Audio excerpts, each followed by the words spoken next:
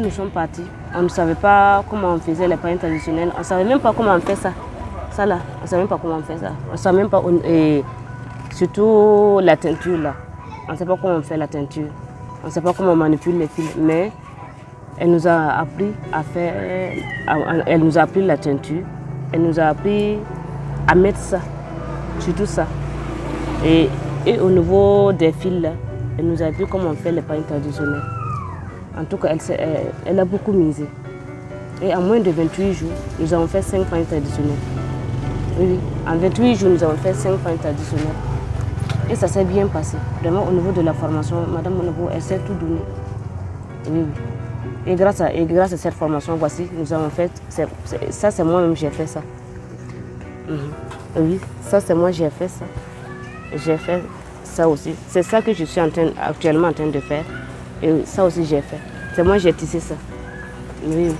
Donc, vraiment, la formation, vraiment, c'était une bonne chose pour nous. Parce que depuis, depuis lors, on continue à faire la on continue à tisser les pains traditionnels. Vous voyez vous-même. Je suis en train de faire. Je vais terminer mes pailles même. Oui, Donc je rends grâce à Dieu.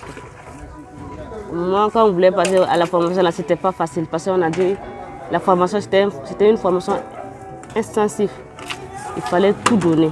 Donc il fallait oublier les soucis, oublier les problèmes, oublier tout ce qui s'est passé. Et pour avoir le moyen de soi-même. Oui, oui. C'était pas facile. Au niveau de la formation, même, ils ont envoyé des gens même pour venir causer avec nous-mêmes. Psychologiquement, ça a beaucoup apaisé. Il y a d'autres qui ont pleuré ce jour-là. Il y a des femmes.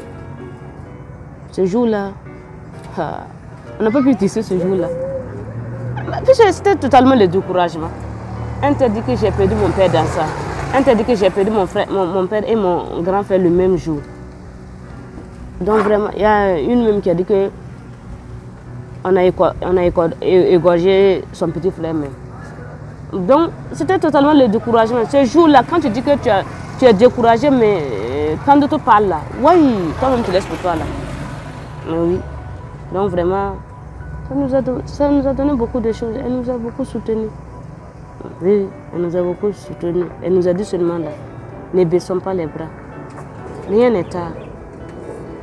Il faut, il faut se battre seulement. Au début, c'était pas facile. C'était pas facile.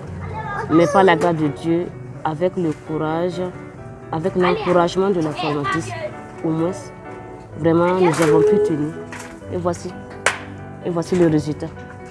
Oui, chacun, chacun tisse ses points traditionnels et on s'appelle. Vraiment, on rend grâce à Dieu. Et grâce à ça, on a des marchés. Donc vraiment, on arrive à s'épanouir dans ça. Moi, je l'encourage. Je l'encourage beaucoup. Vraiment, je l'encourage beaucoup. Et vraiment, du courage à Madame Nampo. Vraiment, du courage à elle. C'est pas facile. Surtout la formation. C'est pas facile. La formation, c'est pas facile. Même pour... Euh, elle se reposait même pas. Oui. Parce que déjà, au niveau de la teinture, il faut que tu montres comment on met les poudres, comment on met la potasse, tout ça.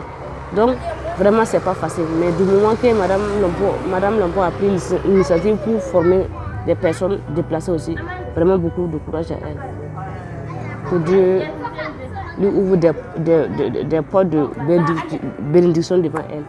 Vraiment, je l'encourage beaucoup. Surtout beaucoup de courage à elle.